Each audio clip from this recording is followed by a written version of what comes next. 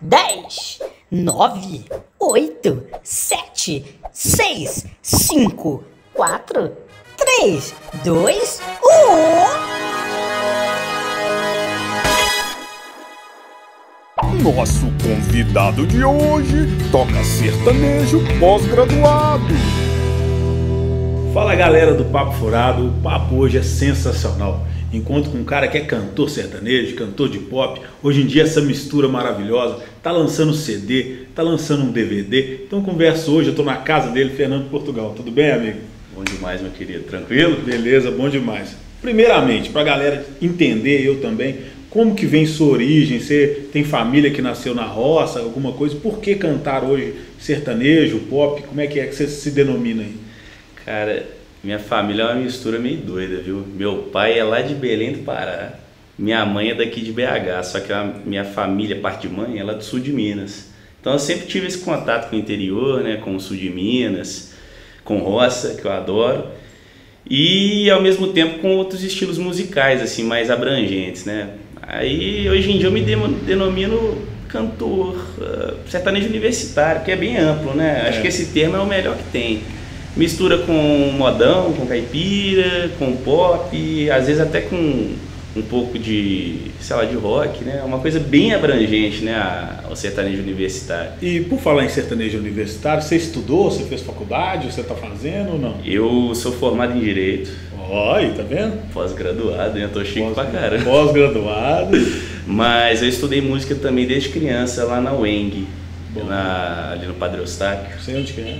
Daí eu fiz música clássica lá, mas eu sempre gostei mais de música popular, viu, gente? De modão. Você tocou piano e tudo mais? Toco piano, toco violão, toco flauta. Então é músico de verdade, gente. Nessas conversinhas fiadas não, o cara conhece mesmo o que, que tá fazendo.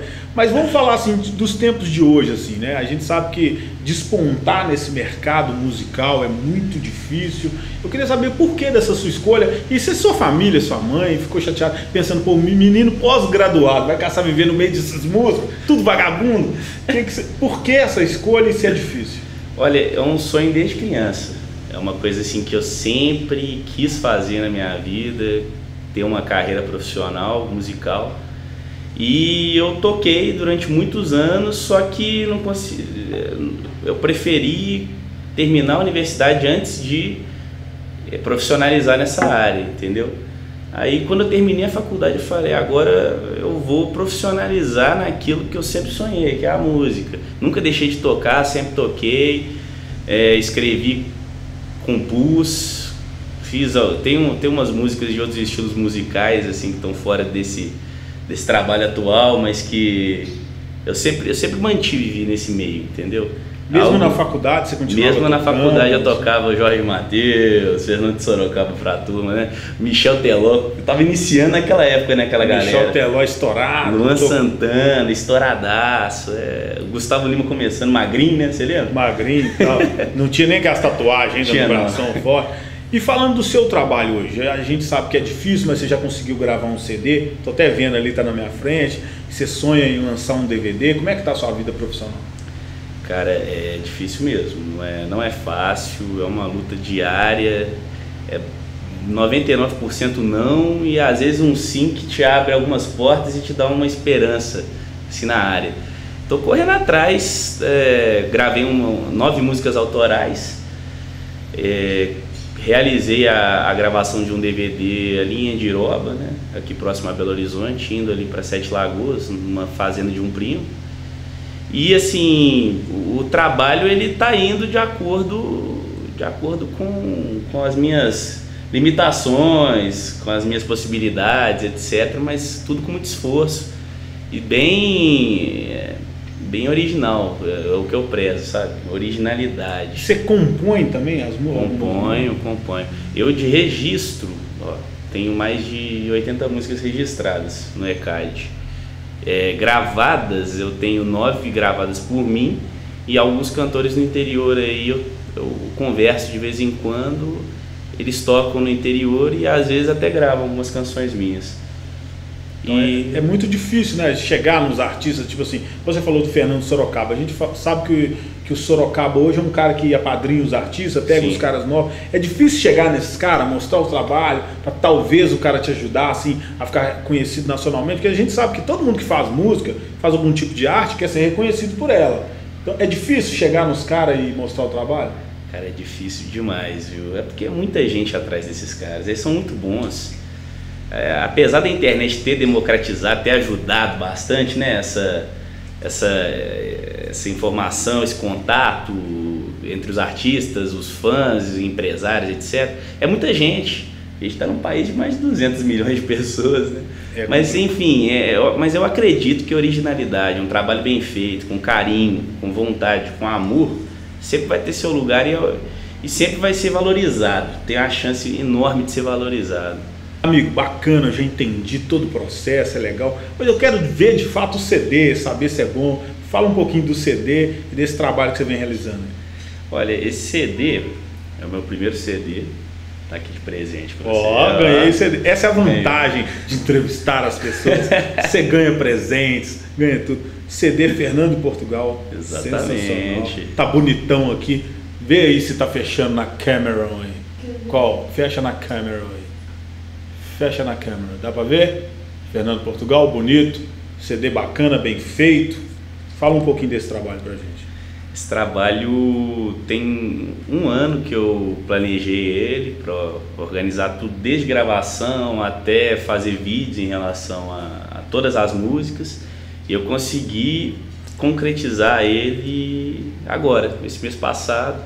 Eu fiz tanto o CD físico quanto o DVD gravado ali no interior, né? Na fazenda de um primo meu. E disponibilizei no YouTube os vídeos do, do DVD. Toda sexta-feira eu tô soltando um vídeo novo, são nove no total. Até agora já foram cinco. Ou Bacana. seja, ainda tem mais um mês, gente, de, de vídeos novos, hein? Você fez, você fez para cada faixa, que são nove cada faixas, faixa. você fez um clipe Exatamente. na fazenda lá, bem modão, e lançando toda sexta-feira no YouTube. E como é que tem sido a receptividade da galera? E fãs, né? O cara bonitão deve morder umas mulheres querendo aí pegar Fernando Portugal. Como é que é? Rapaz, tá sendo bom, viu? a primeira música que eu, que eu coloquei no, no YouTube é a moda mineira, que é uma pegada mais modão, mais cara de Minas Gerais, nossa mesmo, né? Beleza. Esse trem arretado aqui. Trem bom demais. Trem bom demais. Trem arretado é mais pro norte de Minas que eles falam, né? É. Mas é, teve a receptividade muito boa, já bateu 44 mil visualizações. Sensacional.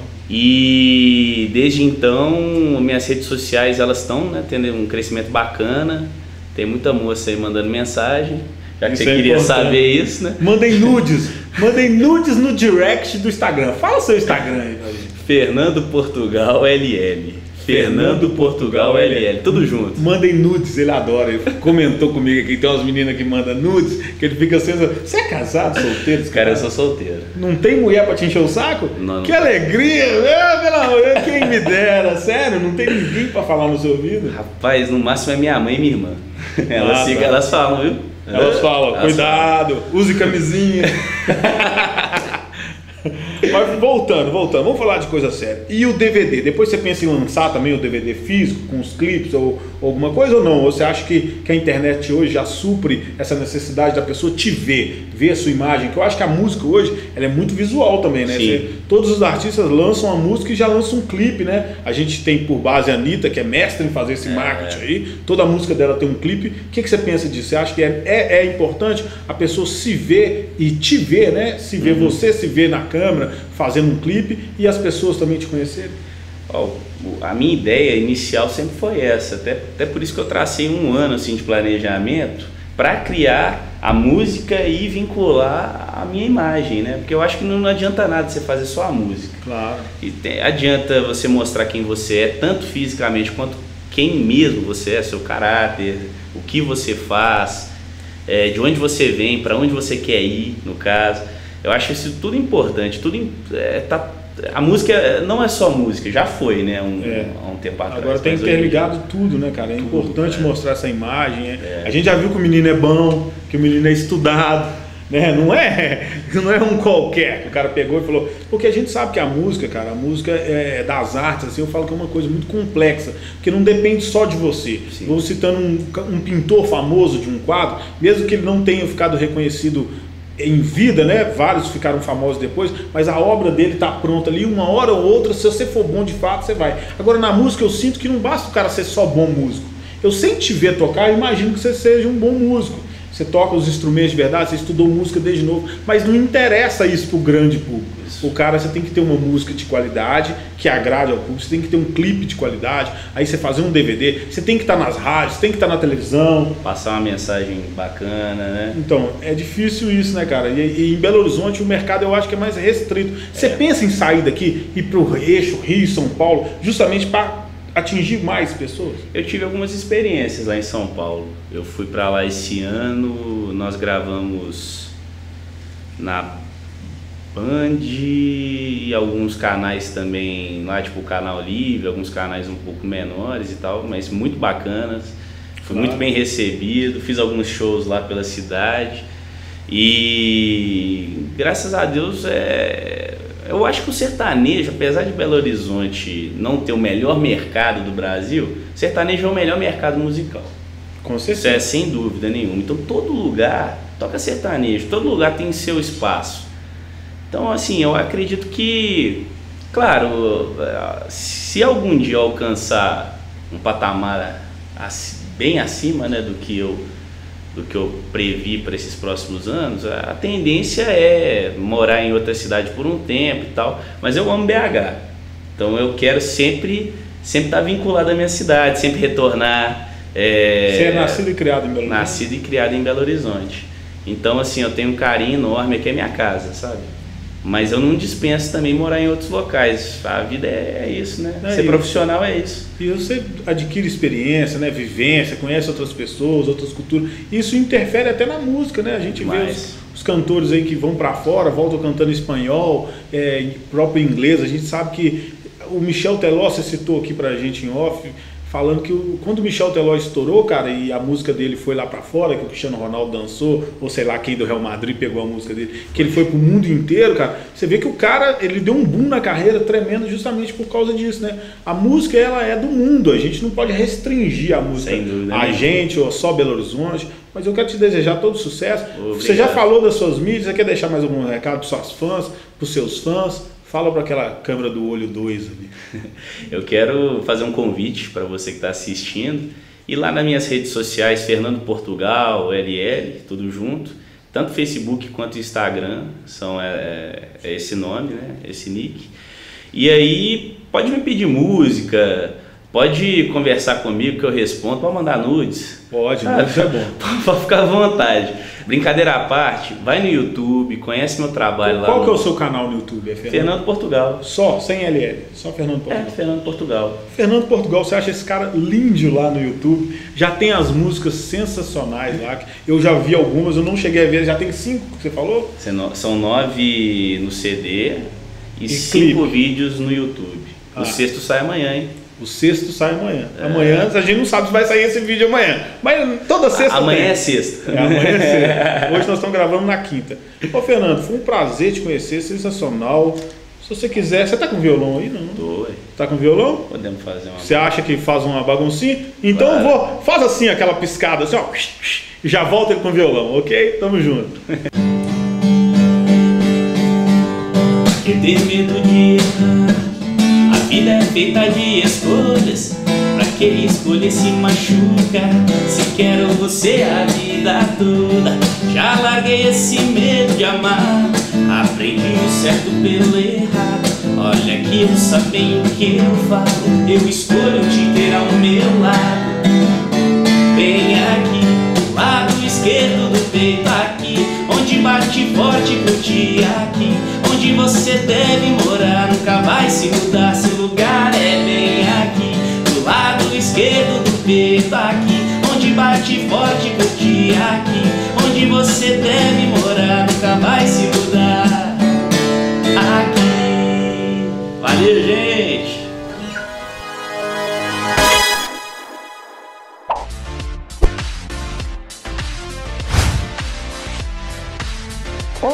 Você sabia que o trabalho temporário é uma ótima alternativa para quem, por qualquer motivo, perdeu seu emprego ou ainda não conseguiu se recolocar no mercado de trabalho? Então, hoje eu vou falar sobre trabalho temporário como alternativa ao desemprego e à crise. O trabalho temporário, ao contrário do que muita gente pensa, ele não acontece só no final do ano, ele não é só vaga para vendedor de loja, gerente de loja no final do ano, não.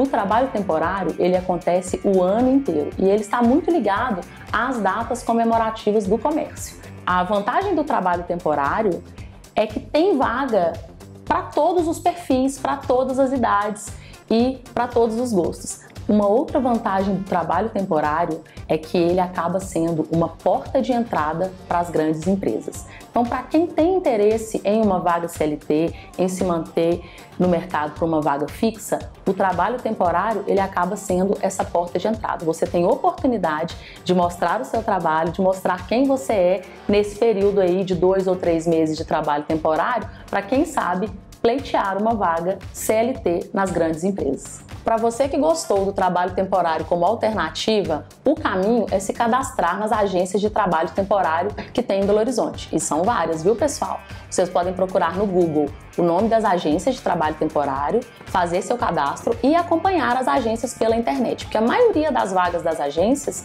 são postadas nas redes sociais, Instagram, Facebook e fanpage. Então você fica ligado, observa aquela vaga que tem mais a ver com seu perfil, se cadastra e aguarde. O trabalho temporário no Brasil, ele pode durar até 270 dias, de acordo com a Lei 6.019, que rege o trabalho temporário no Brasil. Tá bom? Até mais!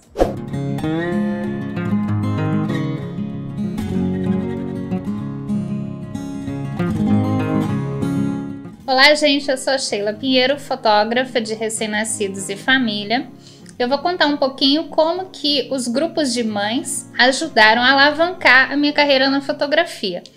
Primeiro a questão da indicação, porque quando uma mãe faz um trabalho, tem um bom resultado e se sentiu feliz com a experiência, ela vai recomendar a outras mães que também façam com a mesma pessoa para que as amigas tenham o mesmo resultado. Então, os grupos de mãe ajudam é, que, que, a gente fique é, conhecido, se torne uma referência entre, aqueles, é, entre aquele grupo, aquela comunidade. E caso a mãe que recebeu a indicação goste realmente do trabalho, ela vai ter mais segurança em contratar alguém que ela teve uma indicação do que que ela só viu um anúncio ou soube por alto. Por isso que os grupos me, sempre me ajudaram bastante a construir a minha carreira. E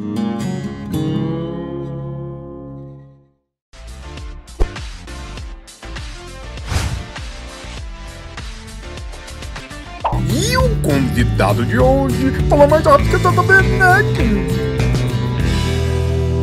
Fala galera do Papo Furado, o papo hoje é incrível. Conheci aqui em Betim um cara que é meu amigo hoje, um cara sensacional. Estamos na Rádio Hits e eu falo do Diego, o famoso Batora, sensacional do rádio. E aí, Ana? E aí, meu querido, como é que você tá? Sensacional, bom demais. Hoje, para quem não sabe, participei do programa dele. É a segunda vez que eu venho aqui em Betim. Tenho essa alegria de ver que o povo de Betim tá bem acompanhado com o programa do Batora, meu amigo. Fala um pouquinho como que começou, surgiu essa ideia sua de ir para o rádio, primeiramente, e depois como é que você veio parar aqui na Rádio Hits? Wagner, primeiro prazer, né, velho? Você sabe que nesse meio aqui, eu sempre falo isso, você é um dos caras que eu fiz amizade fazendo esse negócio de rádio, que você, como Batória, você é muito profissional, né, meu? Mas eu sempre gostei de rádio, vai, a vida inteira ouvindo rádio, tudo, todas as rádios, a mais popular, a mais elitizada, sempre gostei. E sempre fui palhaço, com brincadeira de imitação, professor e sempre ligado ao humor. E mais do que ninguém sabe, eu sempre tentando ali, né, até que surgiu a oportunidade. Mas começou na escola, essas piadinhas que eu faço hoje aqui no programa, era coisa que eu já fazia na escola e sempre no rádio, sempre a meio veículo. É, mas antes de você vir para cá, você, você, tinha outras profissões, né? O que, que, você já fez na vida? Conta pra galera aí. Olha, eu sou formado técnico de segurança do trabalho, né? Já trabalho até hoje, o meu ofício mesmo de formação é esse, né? E na luta, né? Você sabe mais do que eu que esse negócio da comunicação, do rádio, televisão, não dá grana, não dá pra você viver. É, o negócio é o famoso amor que a gente tem aqui fazendo esse negócio. e sempre trabalhando, sempre tentando outras coisas, plano A, plano B, mas o rádio ainda é o sonho de viver desta merda, né, meu? É, e é bacana, cara, sensacional ver, né? Assim, você reúne pessoas boas do lado. Tem o Gadone, que é um cara que escreve muito bem, faz humor, stand-up. Tem o Johnny Elvis também, como é que ele chama? O, O João Maciel, o produtor. João Marcel, sensacional, um cara que me surpreendeu, não conhecia, muito bom. Como é que é, como é que você chegou nessa formação, assim, que tem hoje o programa do Batom? A gente começou sozinho, começou Batora sozinho. Né? É de comunicação, você sabe. É rádio, você precisa de um cara pra você bater bola. Se o cara for ruim, deixa ele lá que é bom pra você bater bola com ele. E você vai e vai fazendo. A gente foi indo, foi indo, foi indo. Eu falei, pô, preciso de um, de um companheiro. E o Leandro Cruz, diretor da rádio, chegou e falou assim: Batora, você tá fazendo um programa sozinho, programa grande, humor. Vamos colocar mais um cara. E o João era amigo dele. Mas antes disso, você sabe, sempre convidei um amigo ou outro, convidei o Gadone, que fazia parte de outro programa, quebrava o meu galho ali para bater a bola. E depois chegou o João, que sempre já tinha o personagem dele, que ele criou tudo, me ofereceu a proposta, falou, tem um personagem assim, assado. Eu falei, vamos lá, vamos fazer. Não teve imposição da risca, leva lá, vê o que que dá. E aí veio o João. Depois veio o Aquino, que já era humorista também, a gente conversou, aqui não tinha vontade de trabalhar no rádio, a gente tava com um programa, mais um cara para bater bola. E aí, finalmente, mais do que ninguém sabe disso, queria o Gadone. O Gadone tava no programa concorrente, escreve bem, e a gente fez muita macumba até o outro programa acabar para trazer o É. Gadone para nós. quebrou o outro programa pra vir pra cá. É sensacional, cara. E, e- e eu já te falei isso em off, no seu programa, e vou falar também no Papo Furado. Seu programa é muito bom. Do- do- dos programas que eu escuto em rádio, cara, é um dos melhores, assim, né? Tirando o pânico que eu te falei aqui hoje na rádio, que eu sou fã do Emílio Sturita, então a gente, a gente é menina ainda perto dele, o cara tem muitas, muitos anos de vivência, tanto em televisão quanto em rádio, mas o seu programa é muito bom, você tá indo no caminho certo. E para quem tá em Betim, né, qual que é a estação que o cara quer escutar a rádio? Aí fala a numeração da rádio. E quem não tiver também em Betim, tiver em Belo Horizonte, Contagem, nas outras localidades, onde que ele pode escutar? Aqui em Betim, a gente está nos 87,9, rádio local aqui da cidade de Betim, né, todo sábado de manhã, de 9 ao meio-dia. E fora, você sabe, hoje a força da gente é na internet, é aplicativo, o cara ouve fora no site hitsfmbetim.com.br. Você ouve o Batora todo sábado e tem um aplicativo que você baixa e ouve o gay lá no Google Play, Rádio Hits FM Betim. Vou pedir para a produtora colocar aqui depois, vai ficar bonitinho aqui embaixo aqui. Rádio Hits FM Betim? Isso. Hits FM Betim. hitsfmbetim.com.br. .com.br, você vai ver lá, escutar o programa do Batora, rádio sensacional. E, e- e esse formato de rádio era diferente, você fazia à tarde, Era. era em outro lugar, veio para de manhã. Por que mudou o horário? Por quê? Wagner, é aquele negócio. O rádio, ele tem, é igual a televisão, tem um horário que você tem mais gente concentrada, tem um horário que você não tem tanta gente concentrada. À tarde, no sábado, a gente não tinha uma galera, mas o que, que a gente foi? Foi indo, né? Você trabalha com, com fórmula, com esquema, a gente vai indo. Começamos à tarde, sem propagar muita coisa para aprender, porque a primeira grande oportunidade que eu estou tendo no rádio é aqui.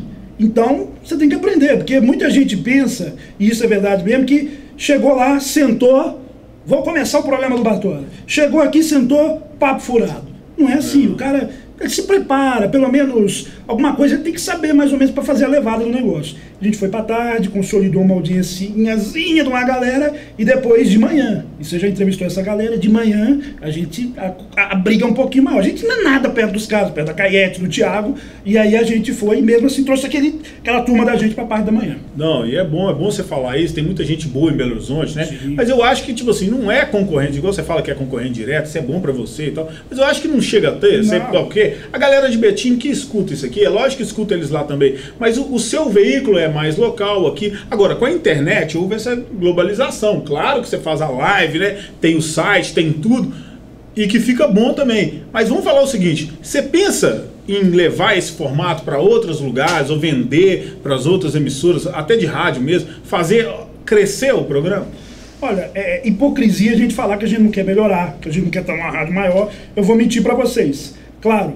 Mas, repito, você mais do que ninguém sabe que tudo, a gente na entrevista que a gente fez agora pro programa, tudo o dinheiro vem na frente. Nada é tão simples quando a gente parece. Pô, os caras te param na rua, o Batória é um que é sempre fala, mas ô Wagner, você tem que ir pra televisão. Os caras te param, você encontra o cara do supermercado, eu te escuto lá, mas você tem que ir pra 98. Eu falei, eu também quero, pô, mas não é assim, só chegar a 98, me contrata. É muito difícil. Difícil por quê? Primeiro, você tem gente muito talentosa. Segundo, Existe o dinheiro, você tem que levar um patrocínio, você mesmo sabe disso. É, Não é tão fácil só chegar, me dê uma oportunidade. Talvez antigamente essas histórias que a gente escuta de arquivo confidencial até fosse assim. Hoje não é. Hoje você tem que mostrar o trabalho, fazer, ver se você é bom. Porque tem cara que chega e fala, pô, eu escrevi um quadro e tal.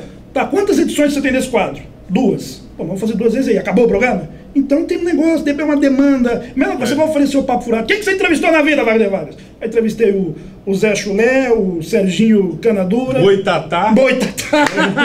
Não Tiago Souza, essas merdas.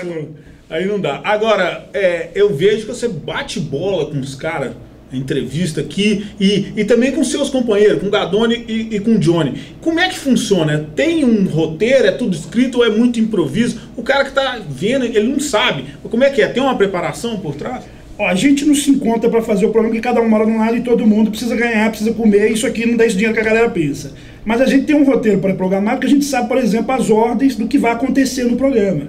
Por exemplo, eu sei que às 10h30 vai chegar o Wagner Vargas. Então eu tenho que fazer um quadro que eu brinco as notícias até 10h30 e vai calculando o tempo e tal. Eu tenho um quadro lá de piadinhas que tem que entrar esse horário. Então a gente planeja isso, a gente sabe a ordem, mas evidentemente tudo pode acontecer. A gente conta com improviso, com, sabe, às vezes entra um cara do nada, chega aqui outro dia, eu entrevistei o cara do ovo, passou na rua, pô, o cara do ovo tá atrapalhando aqui. Chegou, entrou, entrevistei ele. Chama o cara do ovo. Chamei o cara do ovo, entrevistei ele aqui, pô. Mas isso é sensacional. Eu tava comentando com a Camila vindo aqui pra Betim, falando da rádio, e comentando do Emílio Surita também, que isso é a maturidade. de Você chegar num tempo que você vai ver um cara passando ali, tudo é uma oportunidade. Você fala, não, senta o cara do ovo. É. Tá fazendo bagunça lá fora, Foi. meu irmão, você tá me atrapalhando, você não tá vendo que aqui tem uma rádio. Às vezes o cara É. não sabe, você brinca com o cara. Isso é aquele momento de maturidade. E você faz isso muito bem. E, e a rádio te dá isso. Igual você falou, ah, velho, rádio é bacana. Quando você começou na rádio, a gente sabe que você tem é, noivo ou casado, sei lá, você é noivo. Noivo, noivo, Noivo. Tá enrolando, mas. Noivo não, tem não. 10 anos. Ah, não. Aí você começou na rádio e as meninas ficam vendo o carinha na rádio, fazendo live, não sei o quê. A mulher não acha ruim, ela te apoia. Como é que é a relação da sua mulher com a rádio?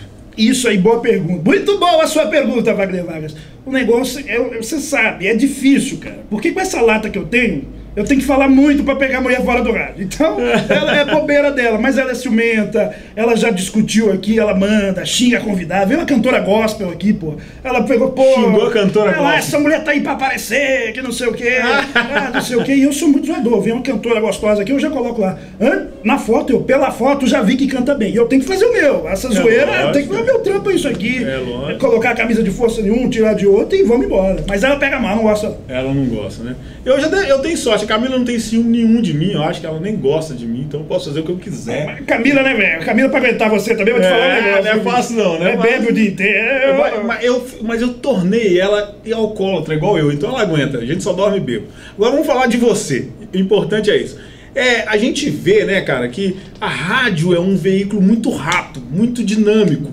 E é difícil, cara, agradar, porque eu, é difícil ter o feedback da rádio. Isso. É difícil. Como é que você sabe que o cara do outro lado lá, né? Você tá aqui em Betim, o cara que tá escutando. Não é o cara que tá vendo na live, não. O cara tá escutando. Como é que você sabe se o cara tá gostando ou não? E aí? A gente começou a ver isso agora de um tempo pra cá. Muito boa sua pergunta, porque a gente não tinha. A gente fazia aqui, pra gente era engraçado pra caramba. Aí eu chegava, ah, vocês estão fazendo um negócio lá, né? Então ninguém fala, comentava nada, eu te ouvia assim, assado. A gente foi pegando o esquema, um negócio simples. Eu tinha que entrevistar aqui, fazer essas entrevistas que a gente faz assim, famoso merchan, o cara patrocina, ele vem, você dá uma. Você levanta a bola dele, fala da, da empresa dele e tal. E o cara às vezes chegava aqui, tipo quando você chegou.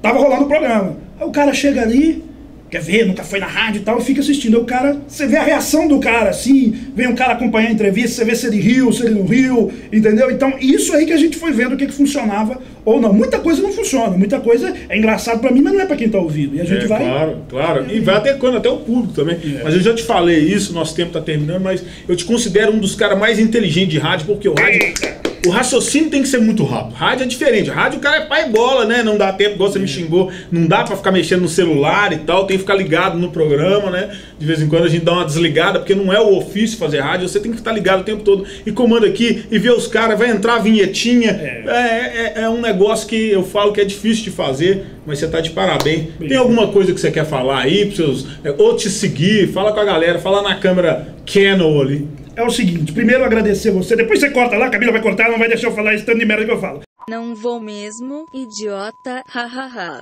Brincadeirinha, pode falar.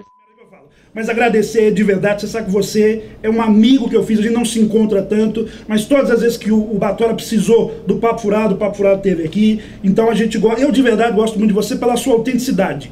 Eu já falei isso várias vezes. Esse cara aqui é um dos poucos caras que o que ele é aqui, ele é quando desliga essa merda aí. Então, esse tipo de cara que a gente gosta, que brinca, que sacaneia, fala a verdade, desejo todo sucesso pra você. É só seguir o Batora no Instagram, Instagrola, Batora Rádio, e todos sabem na Hits, de novo ao meio-dia, nós estamos aqui. Mas eu quero ir pra Itatiaia um dia. Batora Rádio, lá Instagrola. no Instagrola. Segue ele lá, escuta a Rádio Hits em Betim, 87,9, ou então Hits FM Betim.com.br, meu. BR. Valeu! Batora do Papo Furado. Demorou, mas chegou!